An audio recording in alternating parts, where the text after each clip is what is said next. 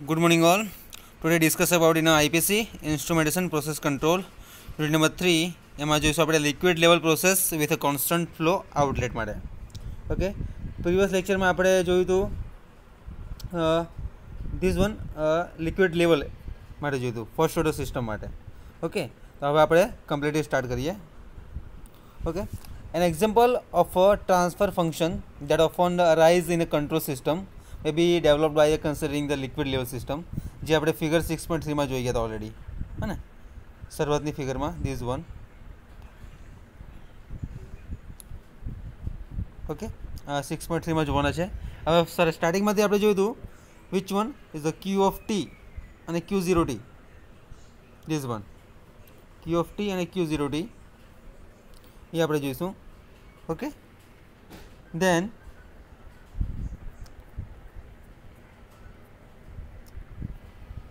resistance shown in figure six point one જે આપણે સ્ટાર્ટિંગમાં જોઈ ગયા હતા ને આ રીતે હતું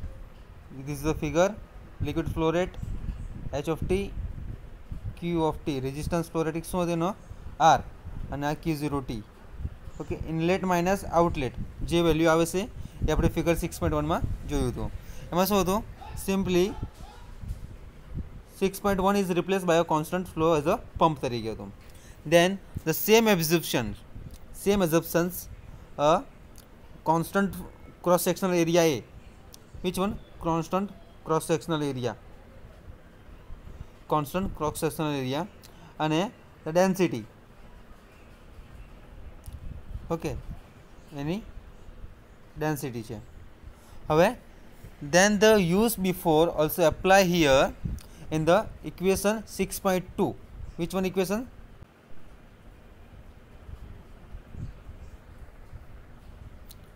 this one q of t q0 t is equal to a dh by dt જે આપણે આઈરો ફોર્મ સોલ્વ કર્યું હતું ઓકે અને ફિગર સિક્સ પોઈન્ટ વનમાં આપણે જોયું હતું આઈરો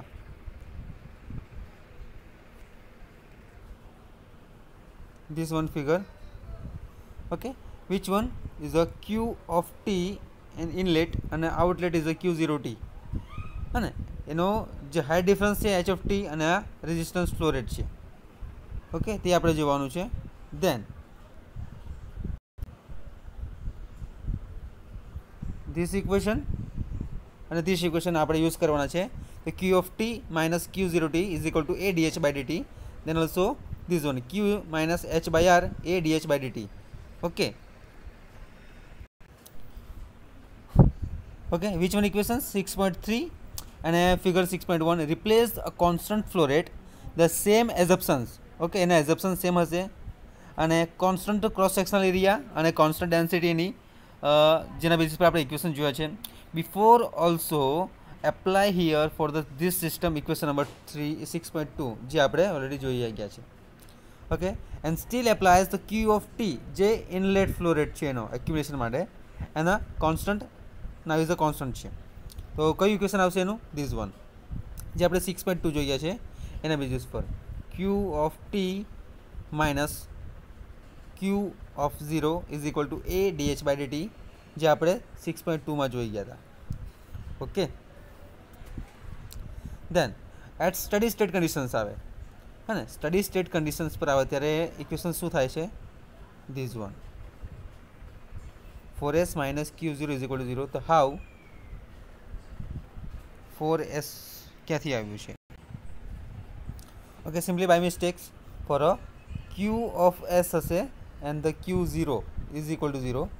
the for by mistakes then the subscript in the equation six point sixteen અને સિક્સ પોઈન્ટ ફિફ્ટીન બંનેને આપણે ઇન્ટ્રોડક્શન તો ડેવિએશન્સ વેરિયેબલમાં જોઈએ તો Q minus Q S okay આ બંને ઇક્વેશન્સને જોવાના છે આપણે સિક્સ પોઈન્ટ ફિફ્ટીન અને six point સિક્સટીનને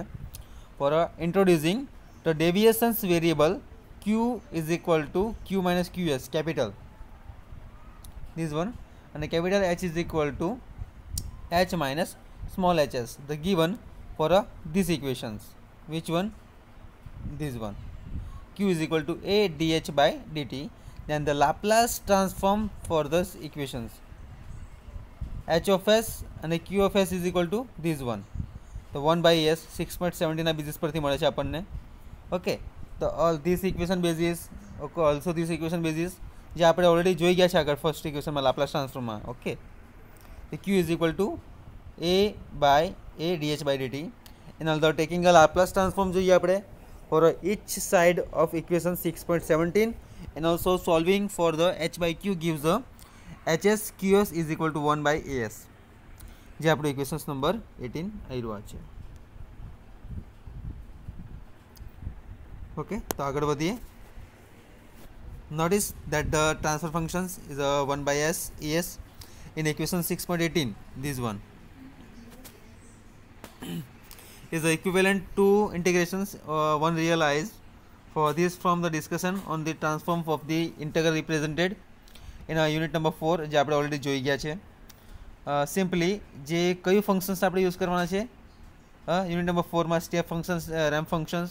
that for the solution of equation six point eighteen these one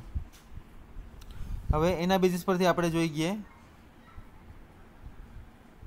આ જોવાના છે તો H of T is equal to H S plus one by ES એનું ઇન્ટિગ્રેશન કર્યું છે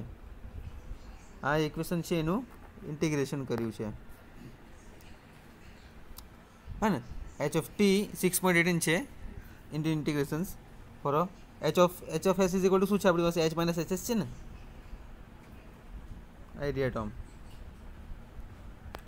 hs is equal to q of s is equal to 1 by s and the h of t is equal to hs plus 1 by a 0 to t q of t dt.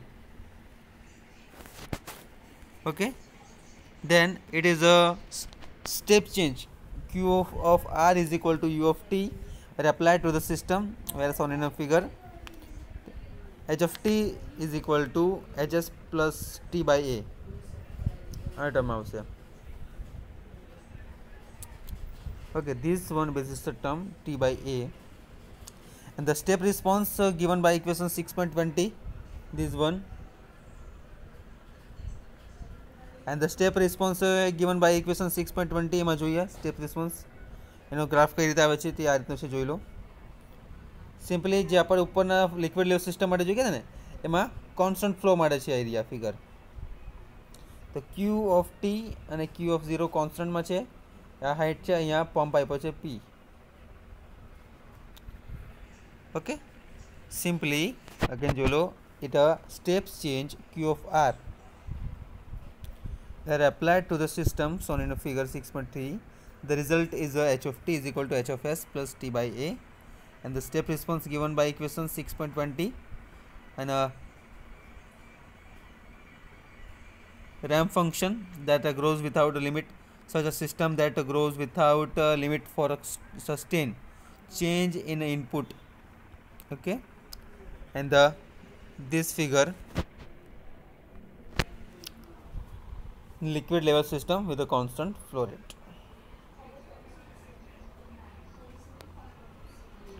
Okay,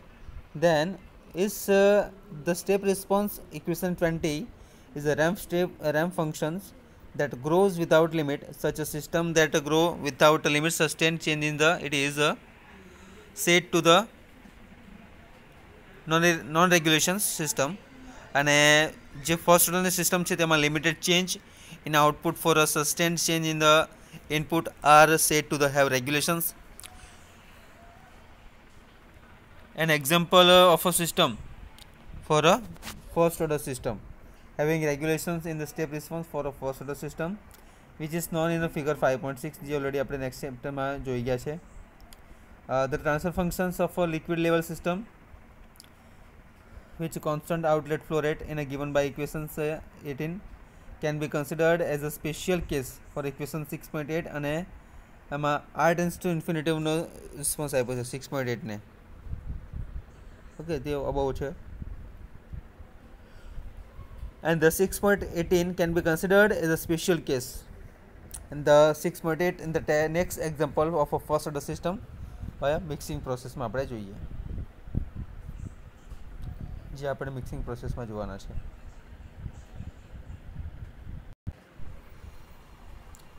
okay so simply mixing process જોઈએ તો consider the mixing process as shown in the figure 3 6.4 this one x of t અને y of t inlet અને outlet ક્યુ આપ્યો છે અને ક્યુ S છે okay and uh, which stream of a solutions containing the dissolved salt uh, flows at a constant volumetric flow rate and the Q into the tank of a constant whole of volume V and the concentration of the salt in the entering stream for uh, X mass of salt volume varies with time it is uh, desired desired to determine the transfer functions relating the outlet concentration Y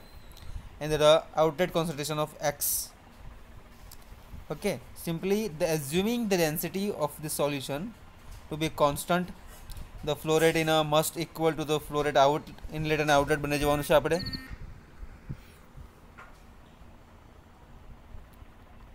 inlet minus outlet is equal to accumulations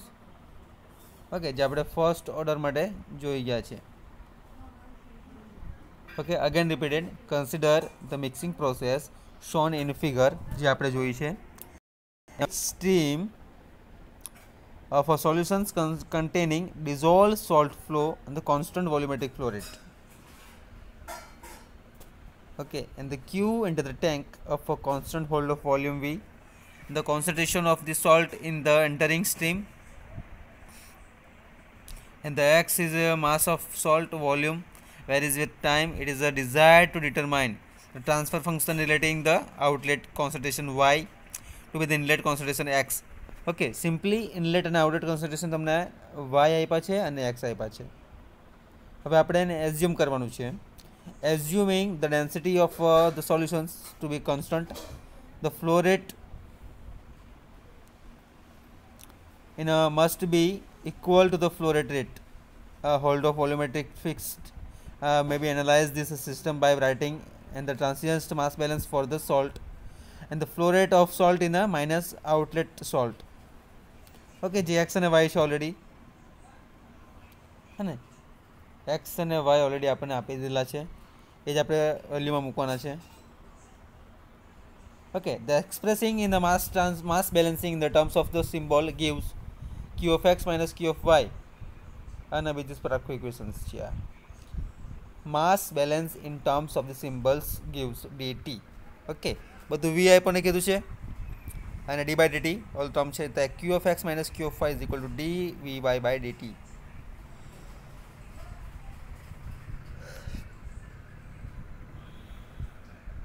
okay આ જો x અને Y અને વી okay તો Q of X minus Q of Y આપણું first equation આના basis પર થઈ ગયું જોઈએ we shall again introduce deviations variable તો only Y S six point twenty વનના basis પરથી okay deviations variable previous example અને સ્ટડી સ્ટેટ કન્ડિશન્સ તો Q of X minus Q of Y આના બરાબર આપણે ઝીરો આવે છે સ્ટડી સ્ટેટ કન્ડિશન પર Q of X minus Q of Y is equal to zero હવે આપણી પાસે વેલ્યુ છે એક્સ માઇનસ એક્સ એસ અને Y minus Y S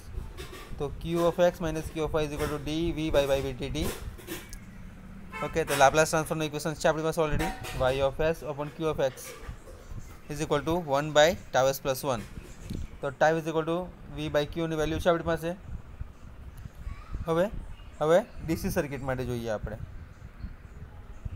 DC circuit અને RC circuit this mixing process is therefore a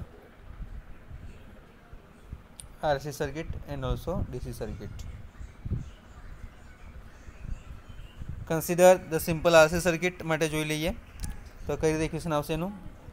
This one V T is equal to R I T is plus one by C I D T અને વીટી માટેનું equation આ છે. એ value put કરી છે એની. D Q of T by DT plus one by C Q T six point twenty four to obtain.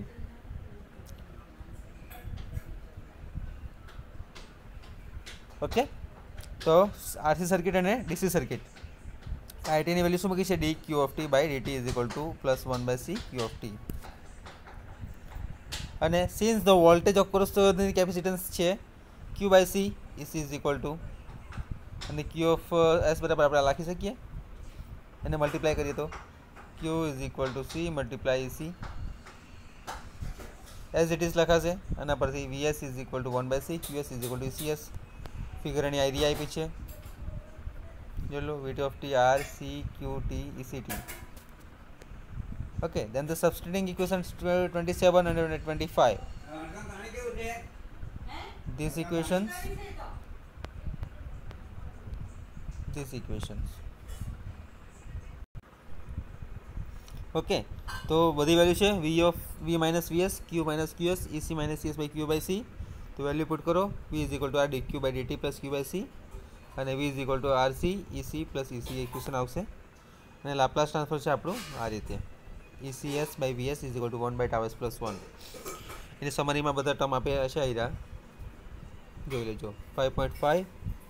6.8 6.23 અને 6.31 યાદ રાખજો tau is equal to MC by H A A R V by four અને RC V by ક્યુ હશે